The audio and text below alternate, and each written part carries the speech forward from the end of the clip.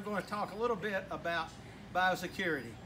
Of course, I've been really fortunate to be not only a dairy goat producer, but also a veterinarian.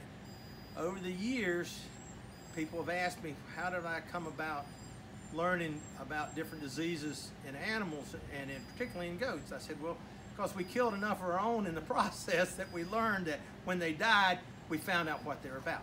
But anyway, we're going to talk a little about herd biosecurity. Everybody has got to be comfortable in their own herd of what they will allow and not allow.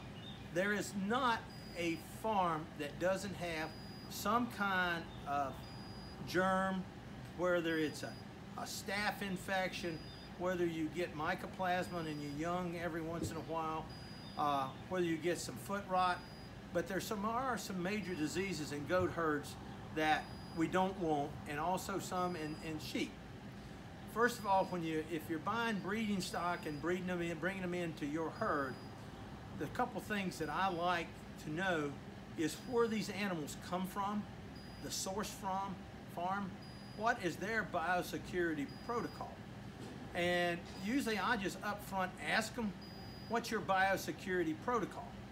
And if they say, what's biosecurity? I know that I'm not going to get an animal from them. But you want as a minimal for dairy goats, you like for them to be CAE, which is caprine arthritis encephalitis free. You want them free of caseous lymphadenitis, or people call it CL, or they call them abscesses. Abscesses, you can get them most of the time after the animal are a year of age. These abscesses, though they may rupture, they contaminate the environment. They also have it for life. They will come back later on. They'll contaminate the rest of your herd and your soil. Uh, CL is not anything that I want to deal with at all. Um, now, some people say, well, I got to have those genetics. Well, if you got to have those genetics, if it's a if it's a buck, then have him collected and get get semen from him. You don't need a, a, buck running out with your does. You don't need a ram running out with your ewes that have got CL because your ewes will eventually will get it from the male. And in um, we have across the country a scrapies program. Everybody should be registered in the scrapie program to prevent scrapie, which is an, uh, a severe neurological problem in, in sheep and goats.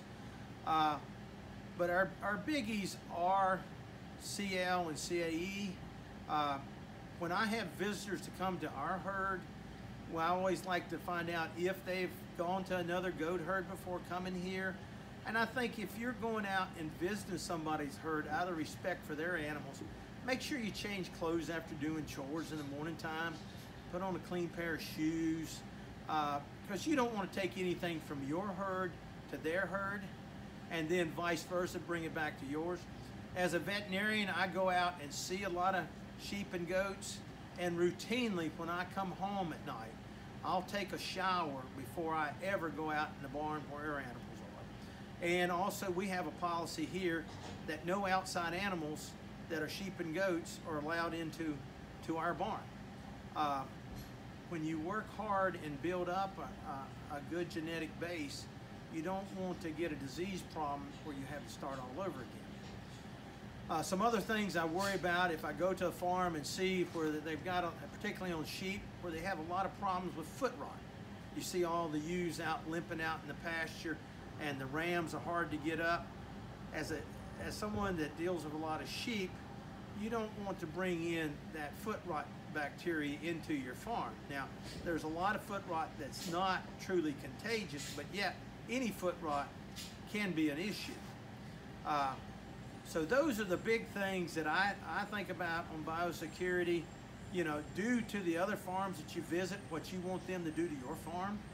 Uh, not everybody is as quote unquote anal as we are about keeping diseases out, but at the same time, you don't want to to have problems because if you do have problems, I'm going to come out in the long run anyway because you're going to have to call a veterinarian to to treat some problems. So the less calls you have to me about sickness, the better we all are going to have, and we have a good preventative program. So anyway, that's my thoughts on biosecurity.